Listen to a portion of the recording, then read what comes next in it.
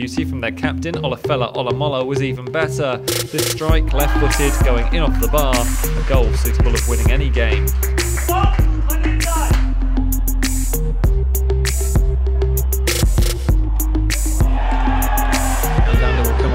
Very soon for uh, Liverpool as well. Southampton with a, another opportunity and it's two. And it had been coming really from their point of view. It's Olomola as well who scored.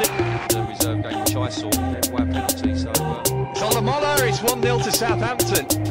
From nothing, Olufela Olomola, their main man with his seventh goal of the season. Great team's top scorer, and here he is on the ball. Great ball into Olomola, and Olomola heads home for Southampton.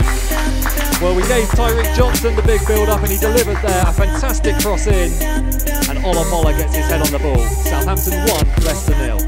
Butting run down the right wing, and his cross came to Ola Olomola, who produced an emphatic finish to put Southampton in full control. Minutes later, and it was 2 0. A straight back pass found Ola Olomola, who rounded the goalkeeper and slotted into the empty net.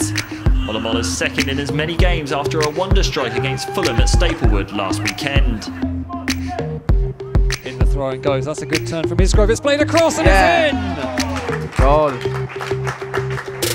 Is that man again? Olufela Olomola. Four for the season.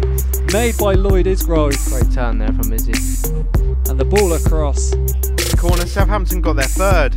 A scramble in the box saw the ball fall to Olufela Olomola, and the forward made no mistake in thumping the ball home to